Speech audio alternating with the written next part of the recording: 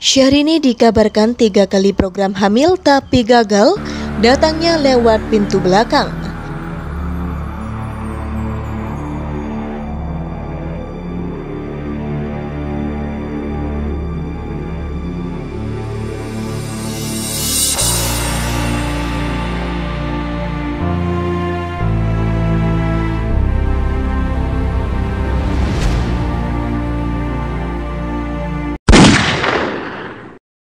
Dapur berita artis terkini.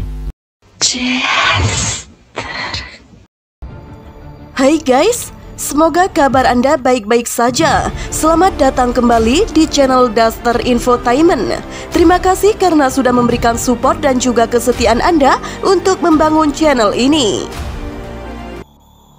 Sebuah akun gosip mengabarkan bahwa Syahrini pernah diam-diam menjalani program hamil di Jakarta.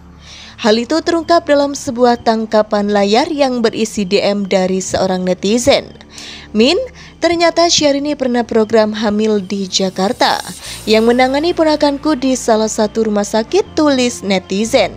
Kemudian si netizen menyebutkan bahwa Syahrini tiga kali program tapi semuanya gagal. Katanya dia tiga kali program enggak jadi, sel telurnya kosong imbuhnya.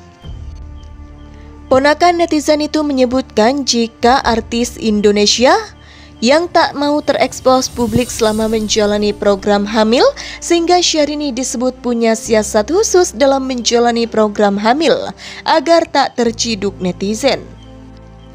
Kata ponakan dia kalau datang minta jam 3 atau 4 pagi yang gak banyak orang. Lewatnya pintu belakang, aku tahu pas ponakanku mudik kemarin, ujarnya. Selain memperlihatkan tangkapan layar berupa DM dari netizen, akun gosip itu juga mengunggah potret Syahrini bersama Reino Barak. Sederet netizen lantas heboh mengomentari isu Syahrini menjalani program hamil tersebut. Tak sedikit di antara mereka yang memberikan dukungan untuk Syahrini. Selain itu ada juga netizen yang menegur pihak yang membocorkan program hamil yang dilakukan Syahrini. Karena hal tersebut tidak etis. Rahasia pasien gak boleh kesebar loh, gak boleh bocorin ke publik.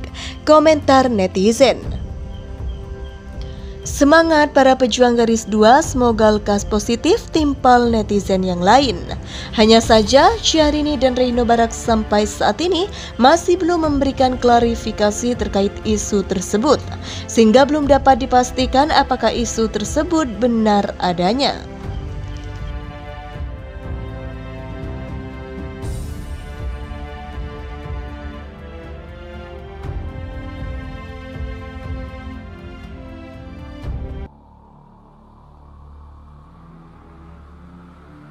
Oga dekat Syahrini dan adiknya tetangga bongkar tabiat busuk dua saudara yang bikin melas silaturahmi. Kehidupan pribadi Syahrini dan adiknya yang selalu memamerkan kemewahan memang selalu buat penasaran. Meskipun kini istri dari Reino Barak itu sudah tak lagi aktif di dunia entertainment, namun di balik kemewahan yang selalu diperlihatkan, ada satu sisi yang jarang terlihat dari Inces.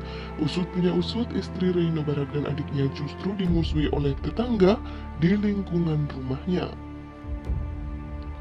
Hal itu pun bisa terlihat ketika seorang tetangga diminta keterangan soal sosok Syahrini dan tetangganya pun enggan menjelaskan. Aduh saya nggak mau tahu soal depannya Syahrini, ucap seorang warga. Enggak tahu ya, maaf, ucap tetangga Syahrini dengan wajah masam di kawasan Bogor, Jawa Barat. Hal itu terjadi rupanya karena tetangga itu merasa jika mantan duet Anang Hermansyah itu dikenal sebagai orang yang sombong. Sekaligus pelit terlebih ketika lebaran Syahrini yang bergelimang harta itu tak pernah berbagi. Gimana ya kalau dibilang sombong? Orang sini udah nggak mau tahu lah waktu lebaran juga bagi-bagi bukan orang sini, tapi orang luar, ucap seorang warga. Sedangkan sikap adiknya Aisyah Rani yang tidak disukai itu karena pernah ada kejadian adik ipar Reino itu menjambak rambut salah seorang warga ketika terlibat dalam acara kurban. Kita mah udah nggak mau Malah waktu bagi kurban kakaknya sempat menjambak warga, ujar salah satu warga lainnya yang tidak mau disebut namanya. Maka dari itu, atas dasar hal itulah para tetangga malas mengenal sosok Syahrini dan adiknya apalagi untuk menjalin tali silaturahmi.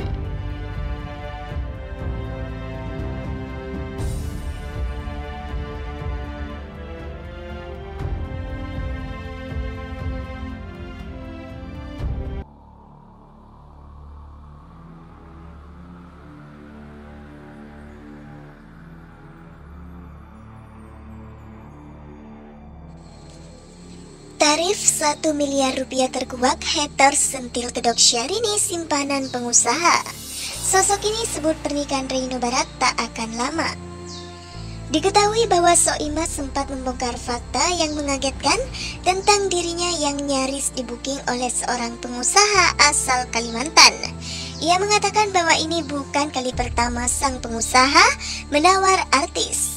Tawaran dengan bayaran senilai 1 miliar itu pun akhirnya ditolak tegas oleh Soima.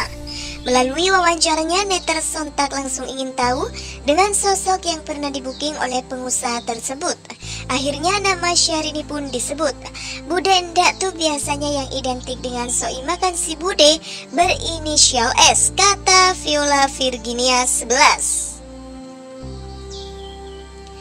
Yang jelas Syahrini gue no basa-basi kata Nikita Mirzani underscore 90 dikutip dari Wow Keren.